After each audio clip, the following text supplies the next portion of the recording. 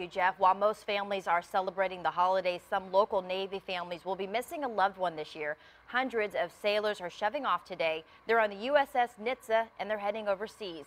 New this midday, 10 on your side's Liz Palka is live at Naval Station Norfolk with more. Liz? Ariane, there were a lot of tears this morning. The Nitze will be gone for seven months, staying mainly around the Mediterranean Sea. But let me tell you, the crew has a lot ahead of them during this deployment. Take a listen to this. We spoke with the commanding officer. He says they'll be doing everything from boardings to searches to making sure sea lanes are safe, some anti-piracy work. The Nitze is also an independent deployer, which means it can meet up and work with other ships if need be. The crew's main concern, though, is being able to operate on its own. It's tough leaving family, but we know that our nation called us to do a job, and that's what we got to do. We're looking forward to it. Well trained, ready to go. Uh, been ready for a while. The Nitze was supposed to, de to deploy on Monday. The crew and their families got a welcome surprise when the deployment was postponed for a few days.